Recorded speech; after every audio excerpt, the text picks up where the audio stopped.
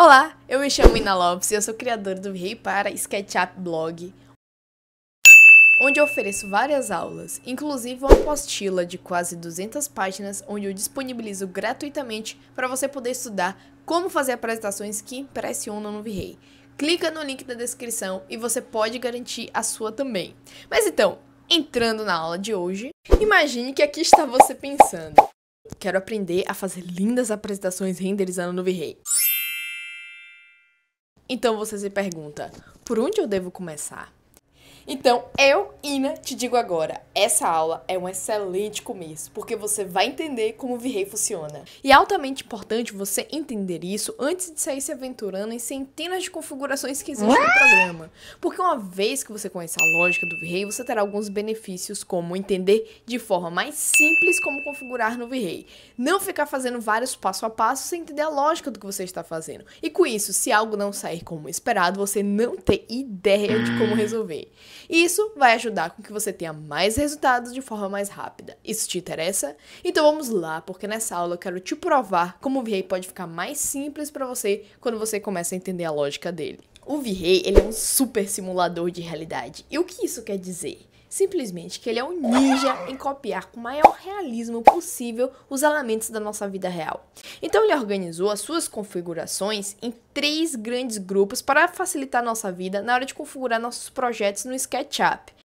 O primeiro grupo é o de iluminação, onde encontraremos configurações para editarmos a luz do sol do ambiente e também as luzes artificiais que simulam a iluminação que sai das nossas luminárias.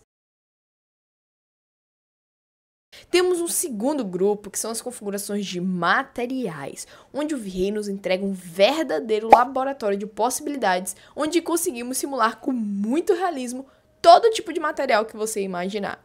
E para fechar com chave de ouro, temos um terceiro grande grupo de configurações que o V-Ray nos entrega diversas ferramentas interessantes para deixar a nossa imagem ainda mais realista. Ferramentas essas que não têm a ver nem com o grupo das iluminações, nem com o grupo dos materiais. E por isso eu nomeei esse grupo de o grupo das opções. E o segredo de um bom render é entender como criar harmonia entre esses três grupos, já que um influencia diretamente na configuração do outro. E por isso que eu criei essa imagem aqui com a interseção entre eles. Agora vindo aqui na prática para dentro do V-Ray, você encontrará aqui no SketchUp essas três barras de ferramentas. E elas poderão ser habilitadas para você vindo aqui em visual visualizar, barra de ferramentas e ativando aqui no final da janela essas três barras. Duas dessas barras, a V-Ray for SketchUp e a V-Ray Objects, são do grupo das opções e apenas a V-Ray Lights está no grupo da iluminação. Então agora você me pergunta, mas ele não está faltando nada? Onde é que estão as configurações do grupo de materiais? A resposta para essa pergunta é simplesmente ir nessa barra principal do for SketchUp, esse primeiro ícone chamado Asset Editor, que quando clicamos nele, abrirá essa nova janela que nos faz o imenso favor de organizar todas as configurações do V-Ray em um só lugar. Então, essa é uma janela muito importante, porque aqui encontraremos configurações dos três grandes grupos.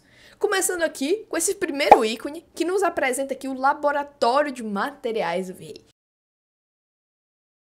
Tudo sobre materiais e configurações dos materiais se encontra nesse espaço. Já esse segundo ícone com essa lâmpadazinha, juntamente com essa barra de ferramentas aqui do V-Ray Lights, é onde está localizado todas as configurações inseridas no grupo da iluminação do V-Ray. E os demais ícones que você vê aqui, assim como aquelas outras duas barras de ferramentas, elas estão inclusas no terceiro grupo das opções.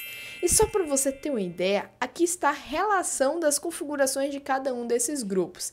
Aí você me pergunta, Aina, aí estão todas as configurações do V-Ray? E a resposta é não. Aqui está a relação de configurações que eu uso para chegar a resultados como esse. E é preciso usar todas essas configurações para ter bons resultados?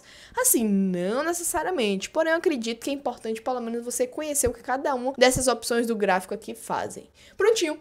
Essa é uma aula introdutória para você começar a se aprofundar nos estudos do V-Ray a partir de agora. Em uma próxima aula, saberemos onde está localizada cada uma dessas configurações.